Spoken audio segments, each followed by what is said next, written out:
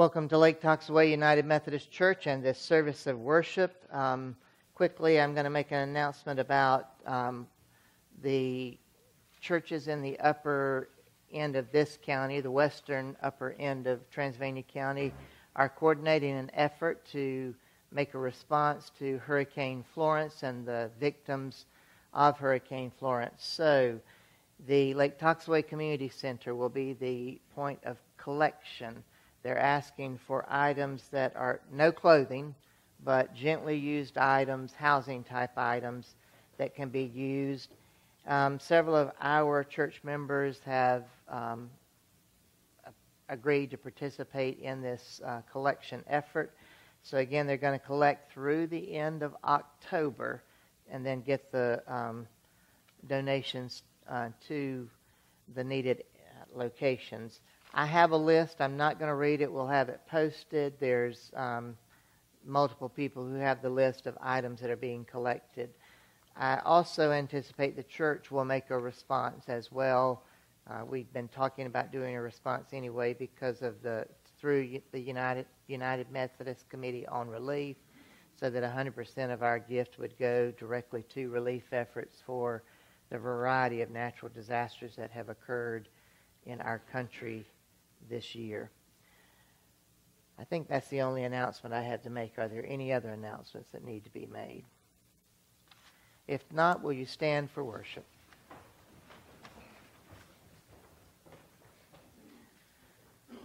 Sometimes we wonder how we have gotten through some difficult situations.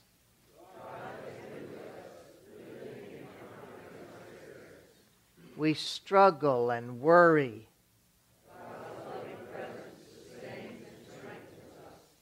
Listen for God's call to you.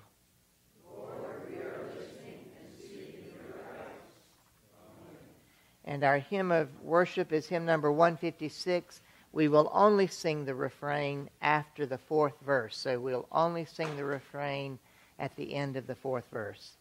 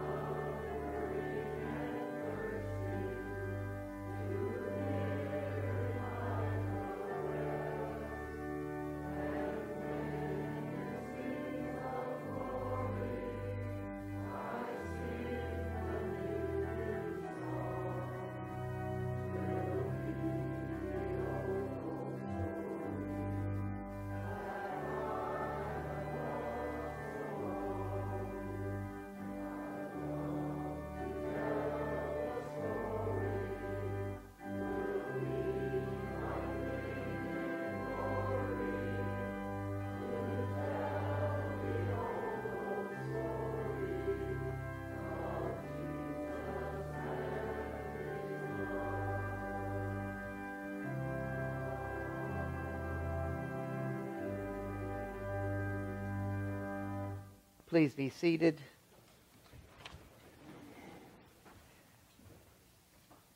And let us join together as we pray the opening prayer. We draw near to you, O God, source of all understanding, and ask you to draw near to us. Teach us your wisdom from above, that we may bear good fruit in our lives. Root us beside the streams of your wisdom, that the green leaves of our goodness, fed by your insight, may not wither. Amen. You have the appointed scripture passages this, for this morning in the bulletin. The Old Testament lesson uh, comes basically from the end of the book of Proverbs, and it ends with a poem, the book of Proverbs does, uh, about a capable wife. Um, I want to just say to you, husbands, don't over, uh, don't read too much into this, okay? because really, um, most scholars say that it also, you remember last week I told you that wisdom is always referred to in the feminine. And so most scholars say that a huge part of this is a description of the qualities of that concept of wisdom. So it's kind of a summary, if you will, of the book of Proverbs.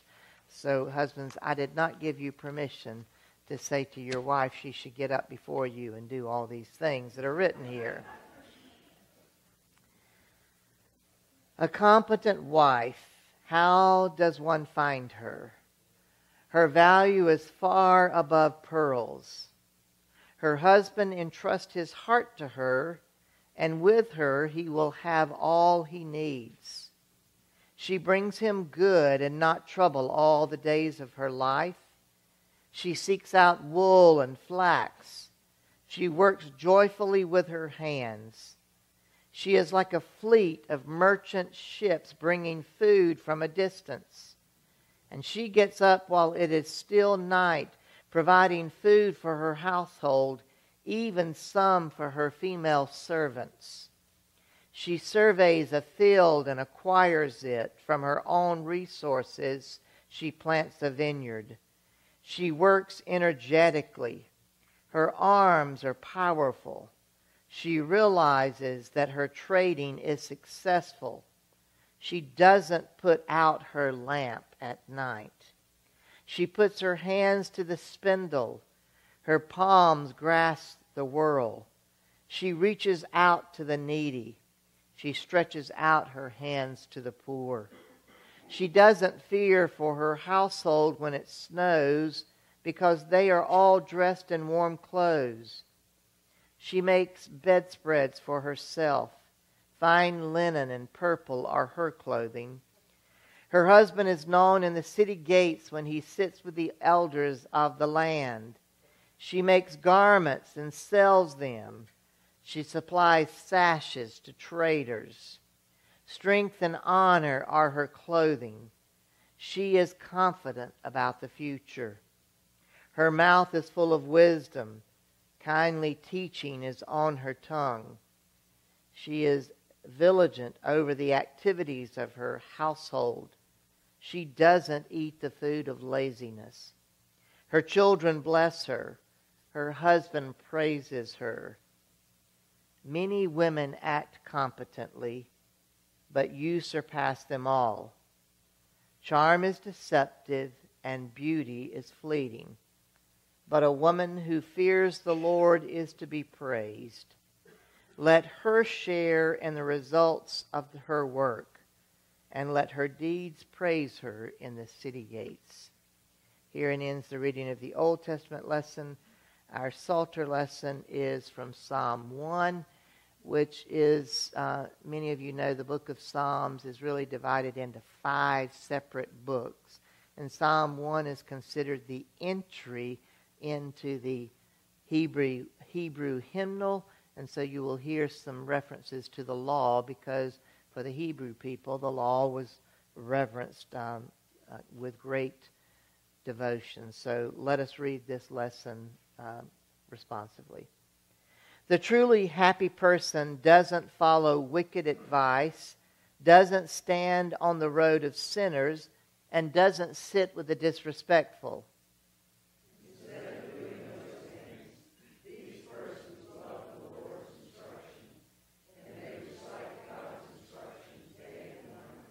They are like a tree replanted by streams of water, which bears fruit at just the right time and whose leaves don't fade. That's not true for the wicked.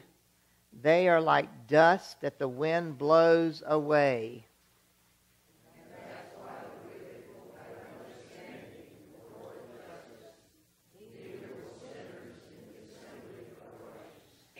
The Lord is intimately acquainted with the way of the righteous.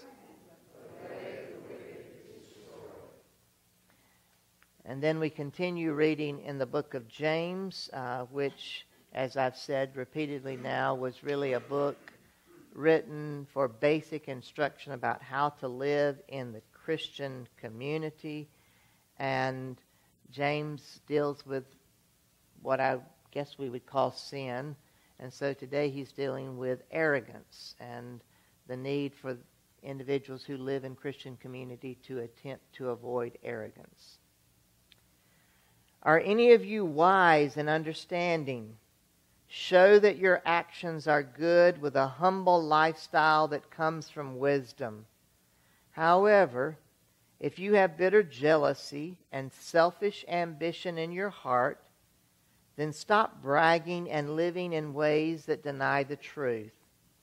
This is not the wisdom that comes down from above.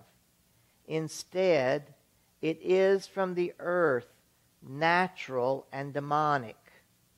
Wherever there is jealousy and selfish ambition, there is disorder and everything that is evil. What of the wisdom from above? First, it is pure and then peaceful, gentle, obedient, filled with mercy and good actions, fair and genuine. Those who make peace sow the seeds of justice by their peaceful acts. What is the source of conflict among you? What is the source of your disputes?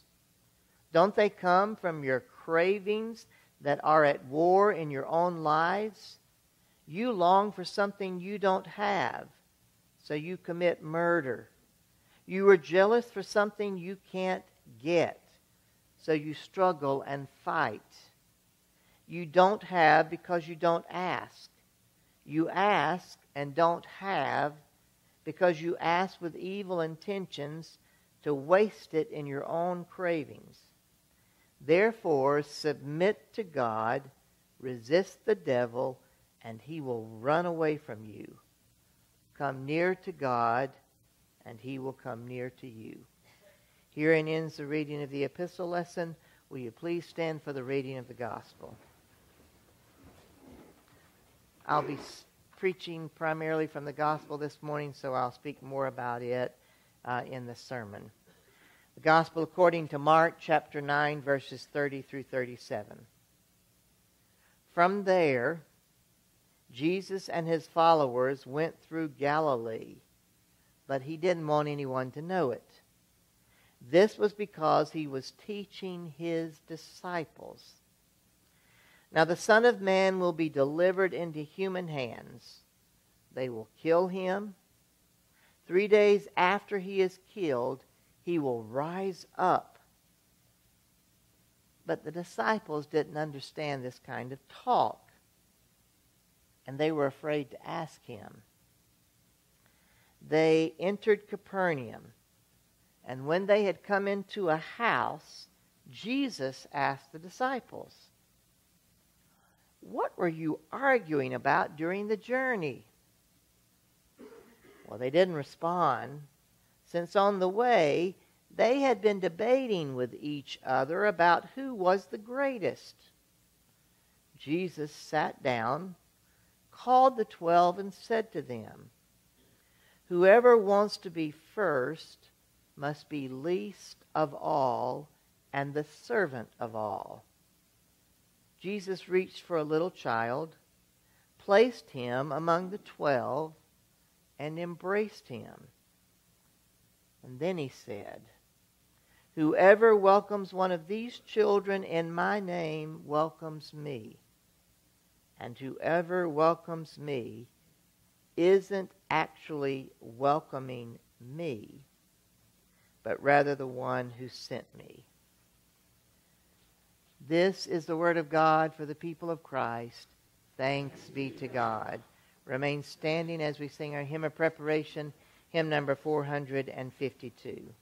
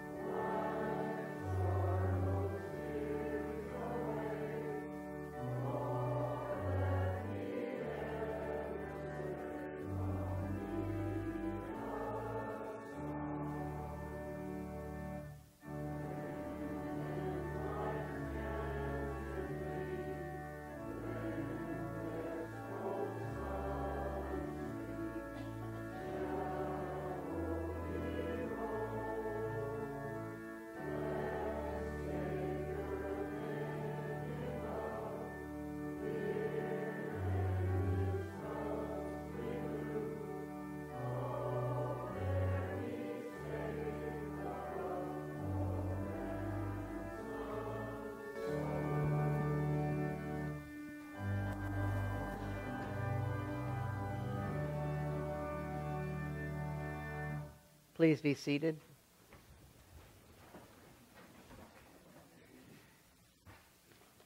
Let us pray. Holy God, we come to this day with hearts that seek to worship and offer both our minds and our hearts to you. And may our worship be fitting in your sight. In the name of Jesus Christ, our Redeemer. Amen. So many of you know that of the three synoptic gospels Matthew, Mark, Luke John's considered a different kind of gospel, but of the three synoptic gospels, Mark is the first gospel that was written, right? You know that? Okay, well, no, good. You've learned something. So that's one lesson that you, um, if you took New Testament, you would have learned that. You also know, well, let me ask, what's the shortest gospel? Mark. Mark's gospel is the shortest in length. And there are those who tell us that oftentimes, because remember, in the day of the Gospels, the masses, there wasn't, we didn't, you didn't have books and whatnot. So uh, the Gospel of Mark may have been acted out in uh, places so that people could hear the story of Jesus. And Mark's gospel is a good gospel to act out. I've done it with youth groups, in fact, because it's not poetic like Luke's gospel. If you read Luke, I, some of you know Luke's gospel is one of my favorites because Luke's gospel is more poetic and um, he pays attention to detail that Mark often overlooked. Uh, Matthew, uh, in his gospel, was writing to a unique audience, and so there's beauty in that unique uh, audience, the Jewish Christians he was writing to. So Mark's gospel is rather fast and action paced. And, and so Mark is always, in the Gospel of Mark, Jesus is always on the move. And Mark is constantly saying, and then. So um, there's not a lot of room for set changes in the Gospel of Mark because you just go from this set to the next set. There's a sense of urgency in Mark's Gospel about Jesus' life, his teaching, and ultimately a story we read now again that we've already heard. In fact, we just heard it last week, but it's told again to us. The stories that Mark's gospel tells have a, a pointedness to them. And I would say that we sometimes in the 21st century have a tendency to say, so what? Um, especially if the story is one of tremendous familiarity to us, like this particular story. Because this story is contained in the Gospel of Matthew and Luke, and of course here in Mark. So I'm going to give you some background and tell you how fast everything's going. Got that out here to make sure I get the background right, the chronology, if you will. You remember last week's gospel lesson was the rebuke of Peter? Jesus told them this very same thing. First of all, he started by saying, um, Who do people say that I am? Who do you say that I am? Peter makes a great confession You are the Christ, the Messiah, the Son of God. And then Jesus tells the disciples, but there was a crowd around them hearing that. Jesus tells them he's going to face his crucifixion. And Peter says, Oh, no, no, no, no. And Jesus makes a rebuke of uh, Peter.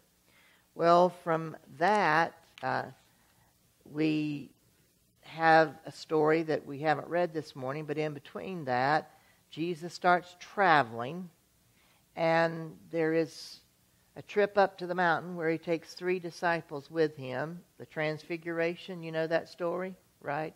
The transfiguration happens. And then just before this story we have read, Jesus performs his last healing in Galilee. Now remember, Galilee was Jesus' home, right? It's where he grew up. And he heals this deaf child, and it's the last healing that he will do in his home territory. And right off the heels of that, we read that Jesus is walking through Galilee with his disciples, so indicating that we've now moved to an intimate group. He's gathered that group, his disciples, to do some teaching and so he tells them for a second time what is to come to him that he will die and be raised again. And of course, you note in this lesson again, Jesus doesn't want many people knowing where he is. And by the way, as he's coming down the mountain in Mark's gospel, uh, with those three disciples who've witnessed the transfiguration, guess what Jesus tells those three disciples? Don't tell anybody about this. So there's that messianic secret that we know that is a part of the Gospel of Mark. So Jesus again tells his disciples when they get together, and we can assume because during Jesus' adult life, he considered Capernaum home. Many people overlook that detail, but scholars debate about whose house he considered home, but that's kind of where he considered home base. they're kind of back in Capernaum. And Jesus again tells the disciples, we're assuming they're kind of isolated somewhat, this story that the Son of Man is to be betrayed into human hands, and they will kill him. And three days after being killed, he will rise again.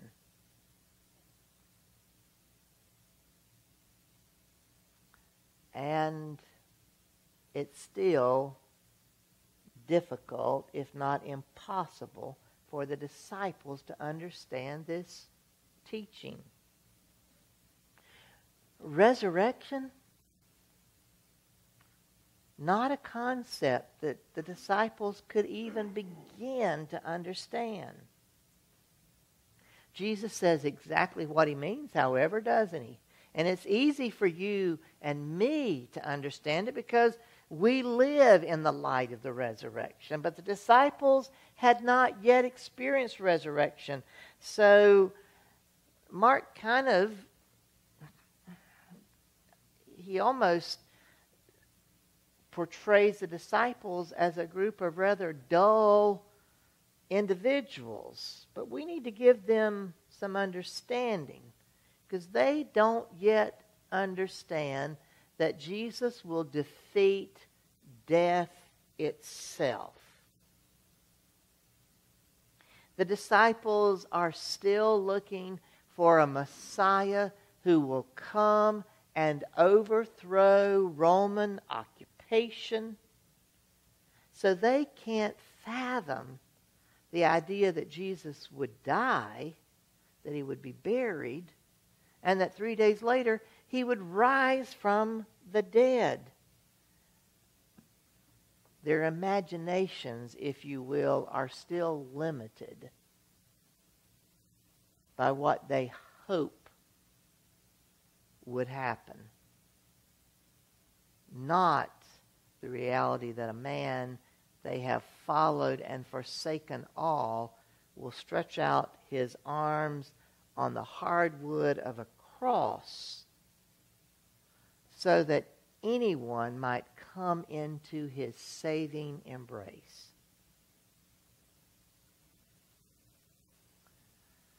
The disciples lacked the ability to imagine a world where death isn't the end.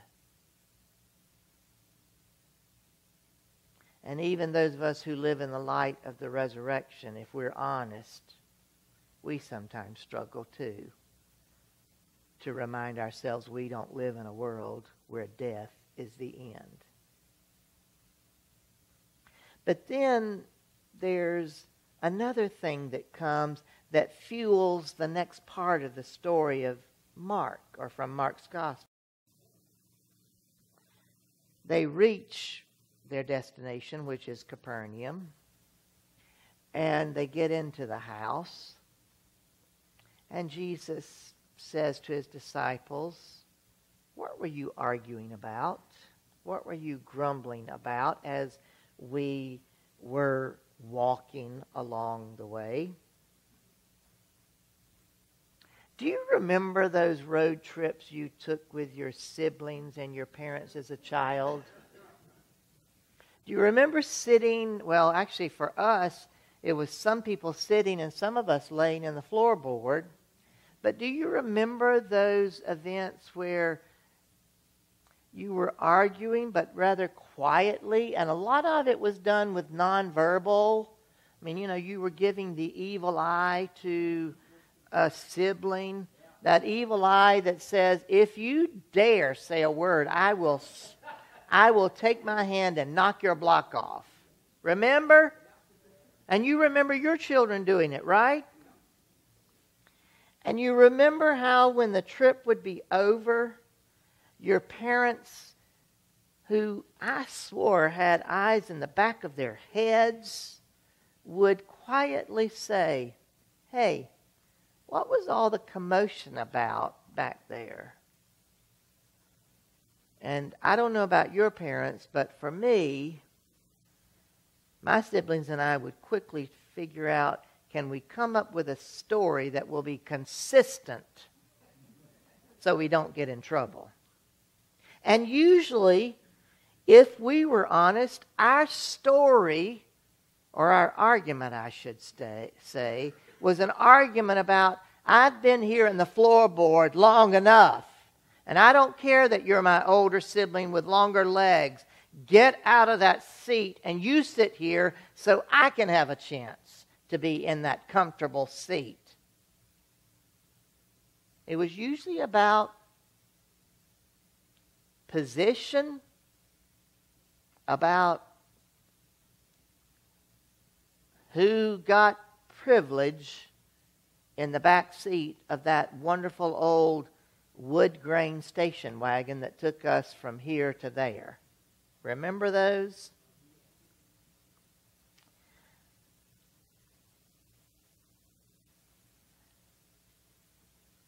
So then Jesus takes the twelve, sits down, which was a common posture for a teacher. And I wished I was sitting right now, by the way but he takes the seated position, again, a common position in that day for a teacher, and he tells them that in the midst of their fighting for who will be first, that the person who really wants to be first or have a position of privilege will be a servant of all. First part of the story or the teaching. And then the second part of the teaching is he takes a child and most scholars say that, and the translation we read certainly implies this, most scholars say Jesus takes the child and embraces the child. Now, you and I are very common with that because we embrace children all the time, right?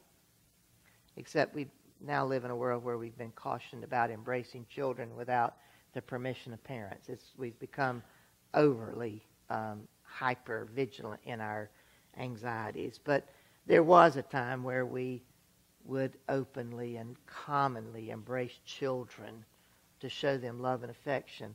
But in Jesus' day, remember who had the lowest status. Women had pretty low status. They were property.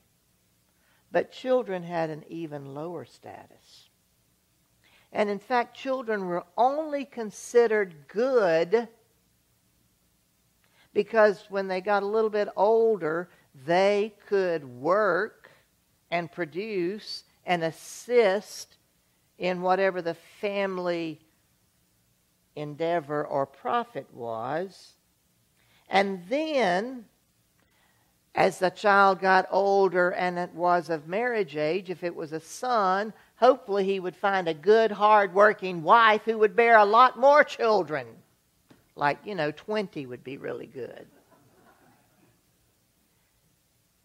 And if it were a female child, hopefully she was one who was robust so that she could be sold to a family where she could produce multiple children for that other family. But children were powerless, vulnerable, considered unable to defend themselves, and really of no good until they reached an age where they could be somewhat productive. Those of you who grew up on farms remember, in fact, one of my first memories of knowing that I was a, a, a work hand was when peas came in. Do you know what peas are? Oh, come on. Some of you grew up on a farm. Even up north, you had peas. Well, I'm talking about the old kind of what we called field peas. And you had to open those field peas up and push the peas out. I hated that job. Except I hated another job even more, and that was the green beans. Because they had, Leslie, oh, you, I hated that job, and I will promise many times I cheated by just snapping the ends off and then breaking them up without stringing them. And then when they were canned, it was always, Marcus, did you not string these green beans when we were fixing them? I understood that finally I had some worth because I could work. That's the way it was for children. And so Jesus takes this child who has no value, a young child, into his arms. Perhaps even the child is seated in his lap and embraces the child and said, Whoever welcomes one of these,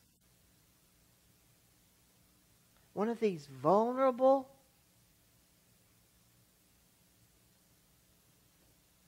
almost worthless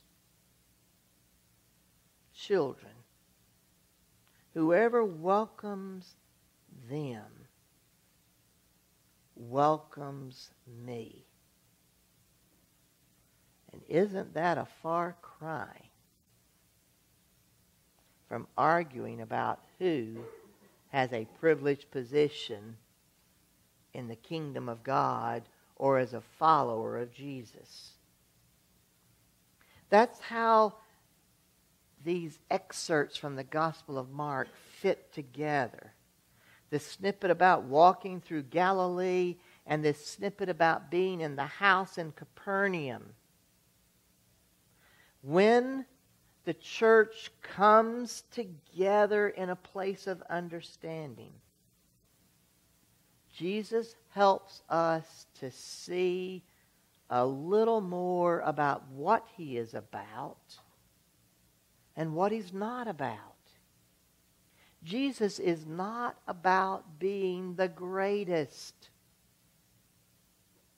He's about being a servant of all. He's not about winning friends and influencing people. He's about welcoming the vulnerable into the fold. And remember, Jesus tells the disciples when they welcome using the child as an example of one of the vulnerable, they welcome him. Now, for you and I, that is, for you and me, excuse me, for you and me, that is still hard to kind of grasp. I mean, I'm scratching my head a little bit here because the disciples were looking for a leader who would overthrow the Roman Empire. They're not looking for a servant who welcomes a vulnerable child.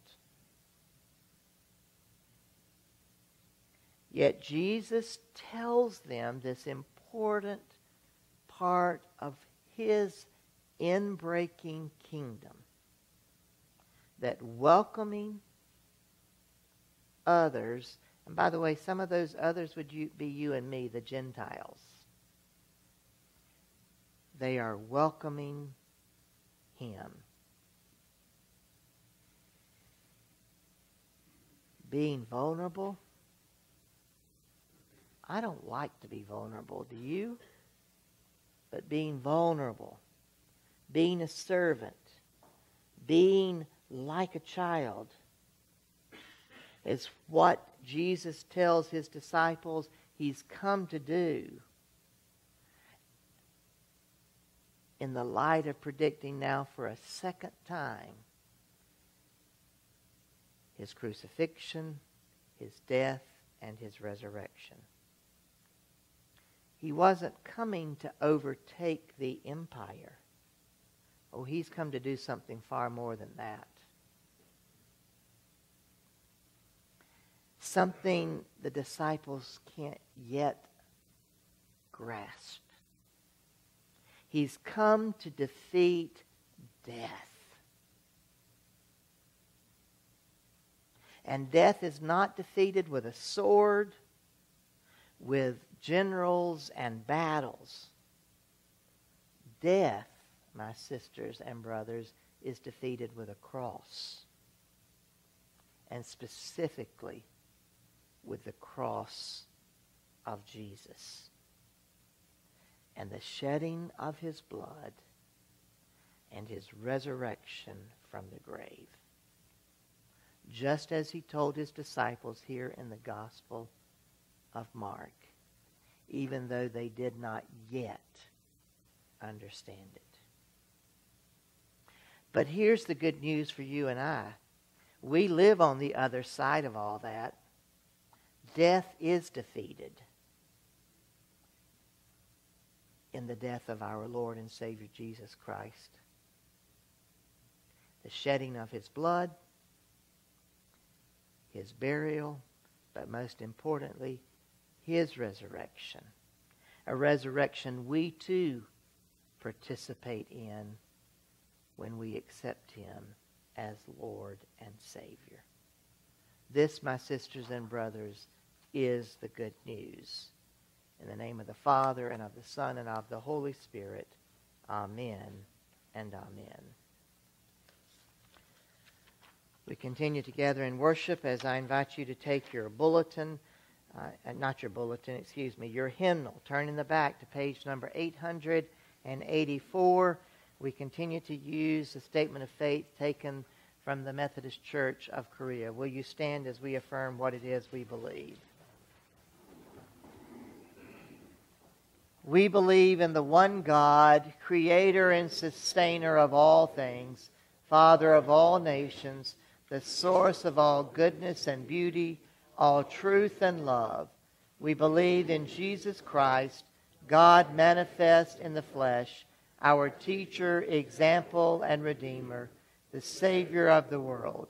We believe in the Holy Spirit, God present with us for guidance for comfort, and for strength. We believe in the forgiveness of sins, in the life of love and prayer, and in grace equal to every need. We believe in the Word of God contained in the Old and New Testaments as a sufficient rule both of faith and of practice. We believe in the church, those who are united in the living Lord for the purpose of worship and service. We believe in the reign of God as the divine will realized in human society and in the family of God where we are all brothers and sisters. We believe in the final triumph of righteousness and in the life everlasting. Amen. Glory be to the Father and to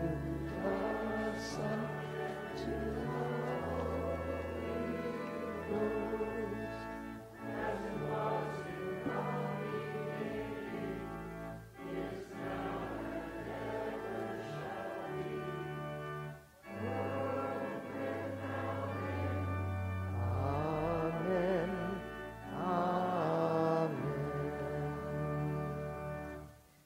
be seated. We continue together as we come to that time where we offer our prayer concerns. Um, I'm going to share um, a couple of prayer concerns with you. One is a prayer concern for Mary June Warren. Um, she asked me yesterday to um, invite you to be in prayer for her.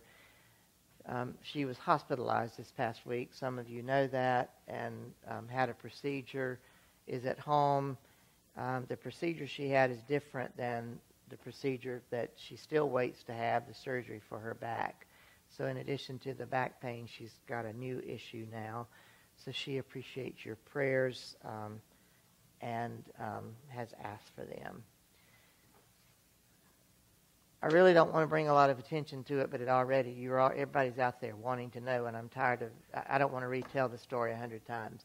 I turned my foot in my yard on Friday, and I have broken a bone in it, and I'll be seeing an orthopedist this week. And it's not a big deal, except that it's just a big inconvenience to me.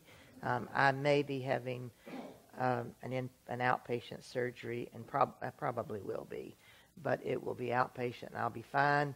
So thank you for your concern, but I really am okay unless I can't drive. And if I can't drive, then I may be calling on some of you to drive for me.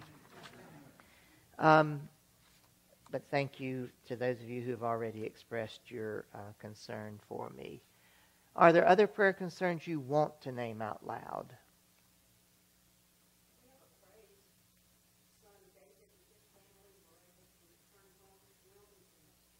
Praise God.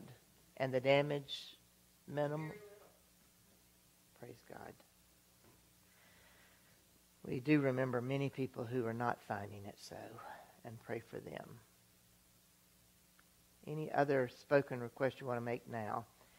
If not, um, as we sing the chorus, the altar is always open to any of you who want to join me. And um, I am going to give you a time for you to do as we have been doing, naming the names that uh, you might want to name. So let us prepare to pray.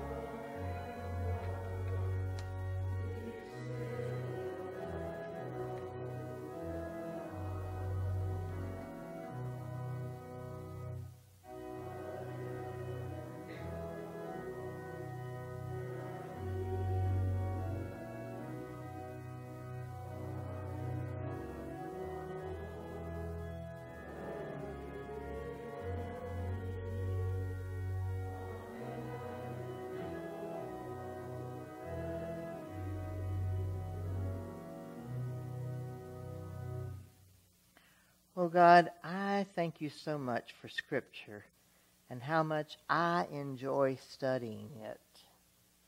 And the joy of studying it and then having the joy to prepare and to attempt to proclaim and sometimes explain it. I give thanks to you that your word is a living word and that it continues to speak to us this day. I also come to you full of gratitude for the beauty that surrounds us and for the promise of a change in season that is a part of your creation. We also come to you, O God and we offer praises and prayers of thanksgiving as we continue, O oh God, to pray for those who are in harm's way, who are returning to homes that are, if not destroyed, in need of many repairs. We also pray, O oh God, for those that we have held on our prayer list for some time and ask that your mercy and your will would be done in the names and in the lives and situations we continue to hold in our prayers. And now, O oh God, we ask that as we are assembled in prayer, you would hear us as we pray the names of those we carry in our hearts and of situations we carry in our hearts.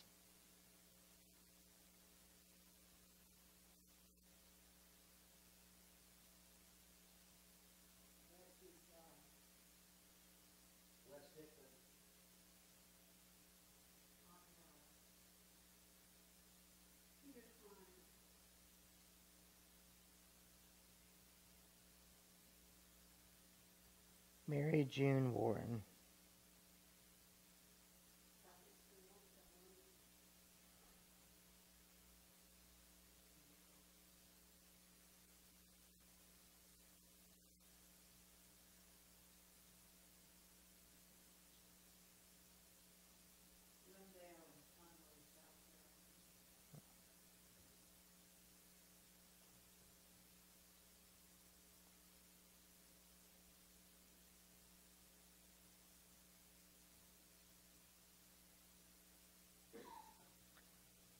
Lord, in your mercy, hear our prayers as we continue to pray the prayer that Christ taught us to pray, saying, Our Father, who art in heaven, hallowed be thy name.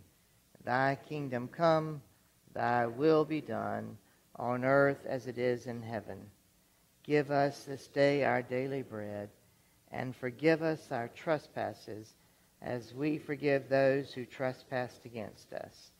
And lead us not into temptation, but deliver us from evil. For thine is the kingdom, and the power, and the glory forever. Amen.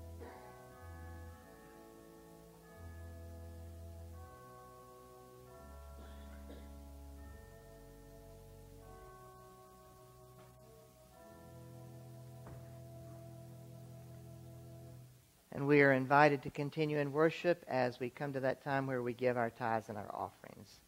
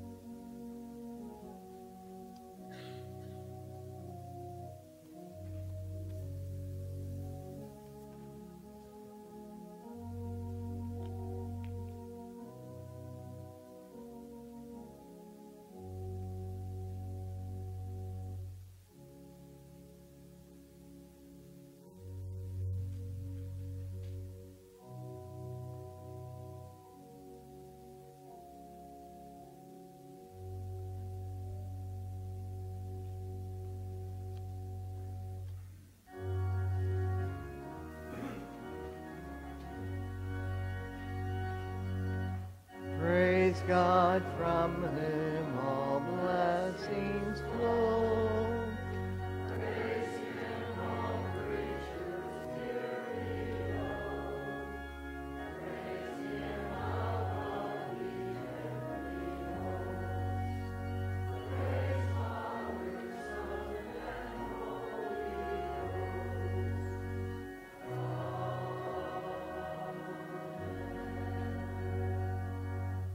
let us pray.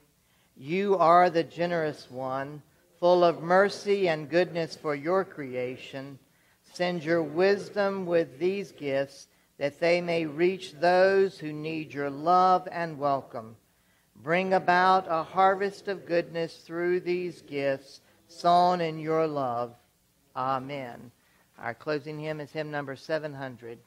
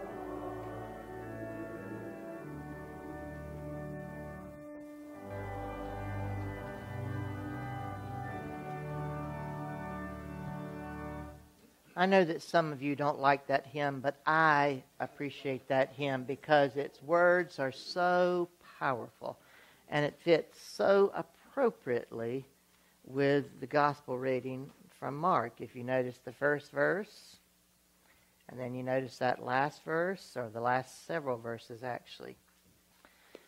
Thank you, Ruth, for choosing that hymn. I didn't ask for it either, did I? Mm-mm. Work of the Holy Spirit, just to let you know. Go and receive this benediction. Remember that Jesus taught in many ways. But in today's lesson, he taught that whoever welcomes a child welcomes me. May we depart to understand that and to fulfill that call. In the name of the Father, and of the Son, and of the Holy Spirit. Amen.